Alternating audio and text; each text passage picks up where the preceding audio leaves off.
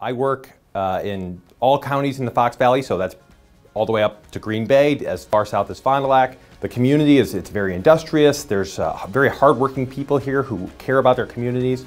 Um, it's a, it's a family-focused place and uh, really a wonderful group of people to work with. If I had to describe myself in a sentence, I'd say that I'm an energetic, outgoing person. I'm very passionate about my work and my clients, um, and my whole life kind of revolves around my work. I think my role in family law is first and foremost uh, to serve my clients and to make sure that they're being protected, they're being counseled, and that they have someone that they can confide in so that we can help them get to the place that they need to go to move on with their life. I would want people to remember me as somebody who fought really hard for them and was there for them when they needed them.